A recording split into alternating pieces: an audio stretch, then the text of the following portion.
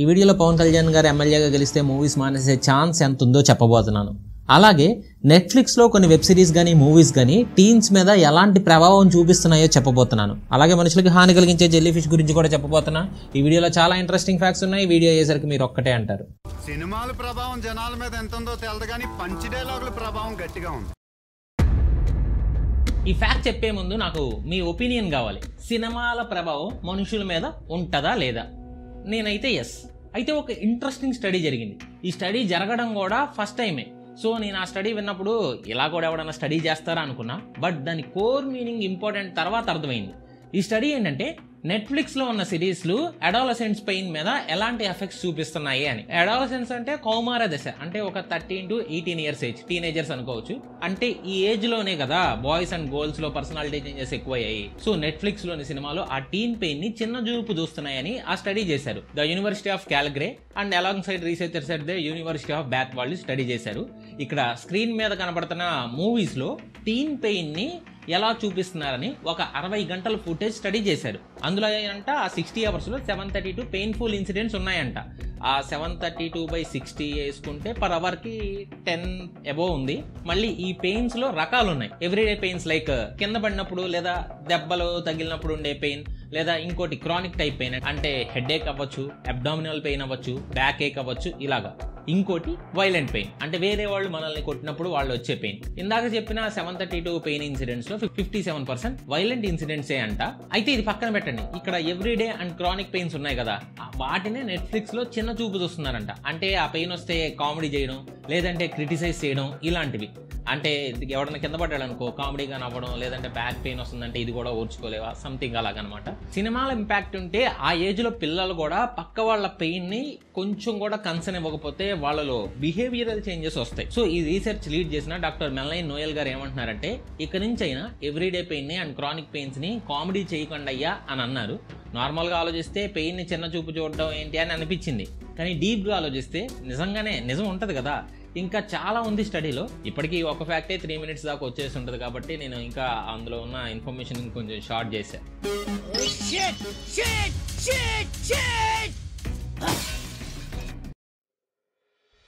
ఈ jelly fish మనల్ని ఈజీగా చంపేయగలదు. చూడడానికి మనిషి గోరంత ఉండే ఈ జెల్లీ ఫిష్ మీకు కనిపిస్తే వెంటనే పారిపోండి.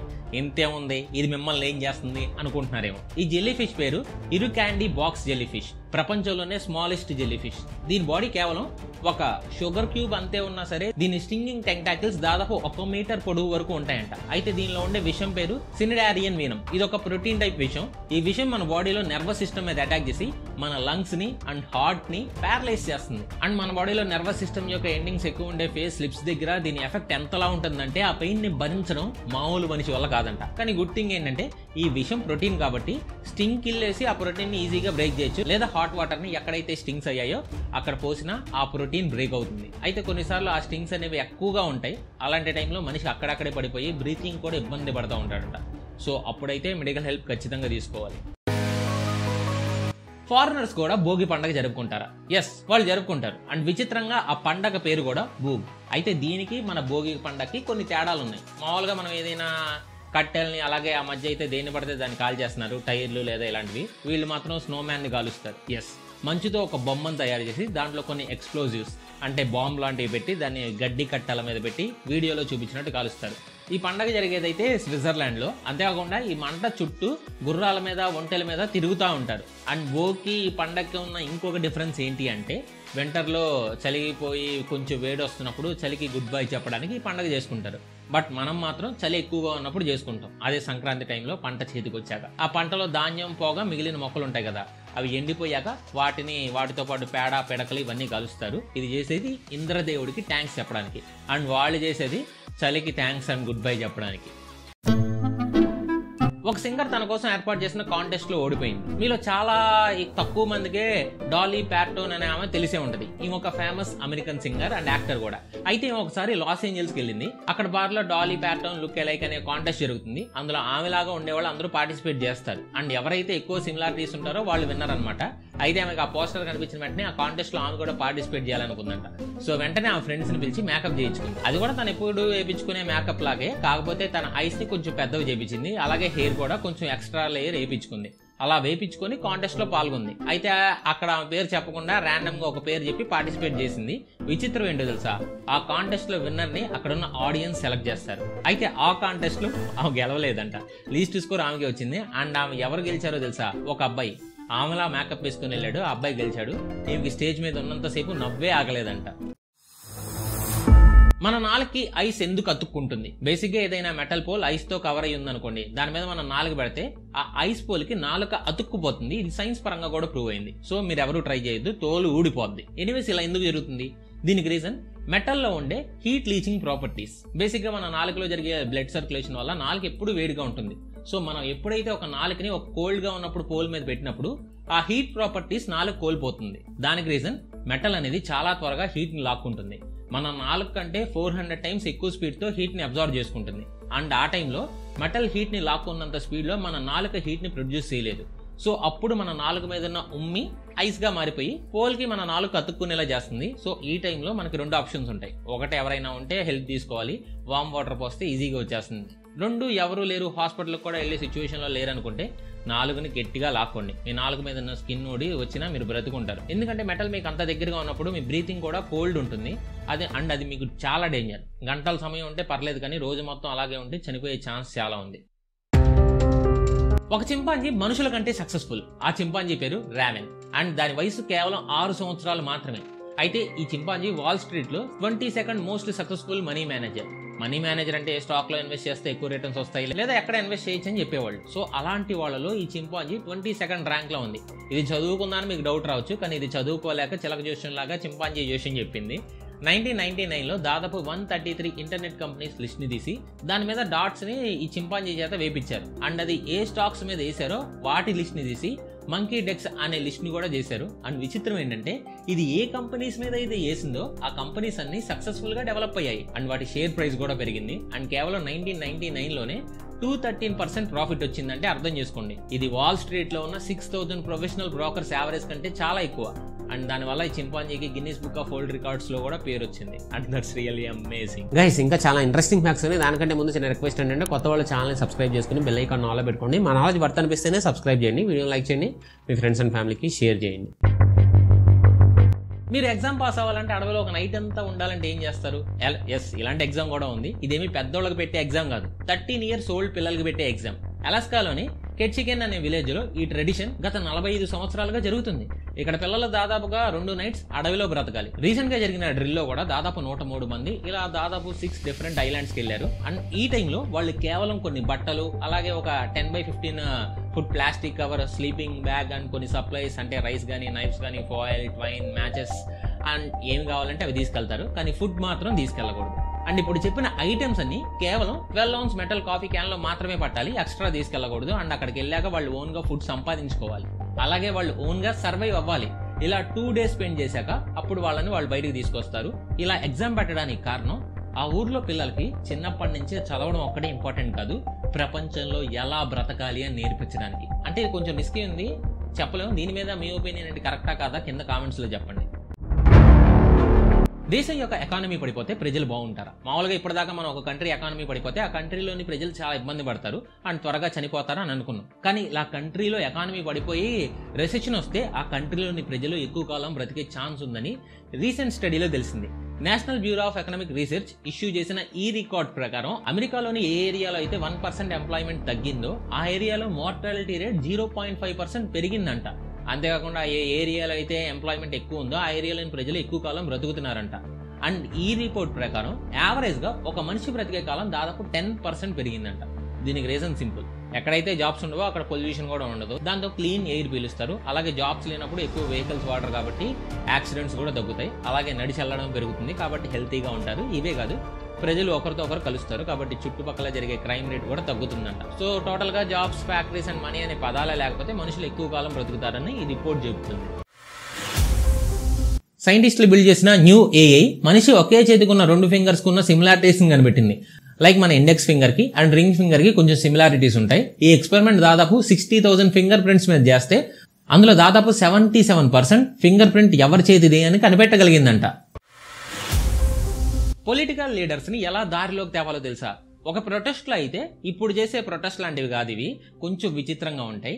ఈ ప్రొటెస్ట్లు జరిగింది ఏన్షియంట్ రోమన్ సిటీస్లో అండ్ వీటిని ఏన్షియంట్ రోమన్ మెగా స్ట్రైక్స్ అని కూడా అంటారు. దీనిలో భాగంగా ఏం జరిగిద్దంటే ఆ సిటీస్లో ఉండే కామన్ పీపుల్ ఆ సిటీస్ని వదిలిపెట్టి వేరే చోట సెటిల్ అవుతారు. దాంతో ఆ సిటీలో ఉండే ధనవంతులకి పని చేసే వాళ్ళు ఉంటారు షాప్స్ క్లోజ్ అవుతాయి.